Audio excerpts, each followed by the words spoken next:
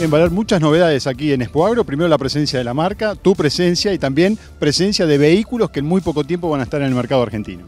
Tal cual, Roberto. Bueno, ese C5 Aircross muy pronto lo vamos a tener acá en las calles en Argentina. Se va a empezar a comercializar en el mes de junio.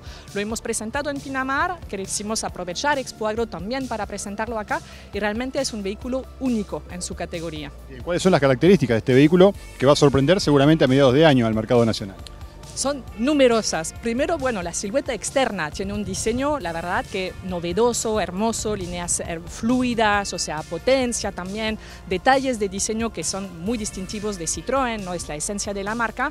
Y si vamos también a los nuevos, o sea, los nuevos ítems que tiene el vehículo, voy a insistir sobre todo, sobre todo sobre lo que es el confort, ¿no? Eh, tiene un nuevo sistema de suspensión que hace que uno tiene la impresión de estar en una, una alfombra voladora cuando está manejando este auto, no solamente por las suspensiones con un sistema que sería, son amortiguadores progresivos hidráulicos, o sea que lo hace que va absorbiendo todas las deformaciones del piso y tiene también unos asientos que después echen una mirada a los asientos que tienen como unos cojines y uno cuando está sentado en cualquiera de las cinco butacas del auto viaja muy cómodo.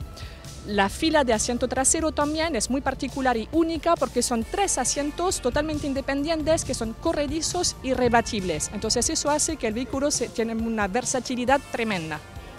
Bueno, y más allá del C5 Aircross, también hay otra novedad que tiene que ver sí, con un vehículo mucho más voluminoso, pero que también es sorprendente para la marca eh, Citroën aquí en Argentina. Tal cual, ¿no? hoy estamos presentando al Jumper Minibus. El Jumper es un vehículo ya conocido, es el mismo que se comercializa en, eh, en Europa.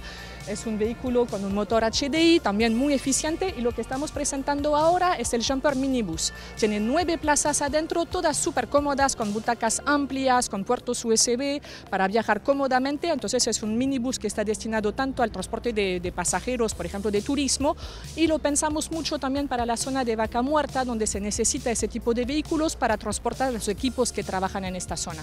Bien, la marca francesa sí diversificando los productos en un contexto que parecía que no es tan favorable, pero por supuesto siempre siendo protagonista dentro del mercado nacional. Sí, Citroën siempre tiene algo para contar, ¿no? También a nivel internacional hubo noticias últimamente con el lanzamiento de AMI, que es un, un concepto totalmente nuevo. Citroën siempre innova. Entonces a veces nuestro país o sea, hace que los lanzamientos se hacen a distintas velocidades, pero todo termina llegando y este C5 Aircross lo demuestra porque es el mismo vehículo que se lanzó en Europa hace, hace un año.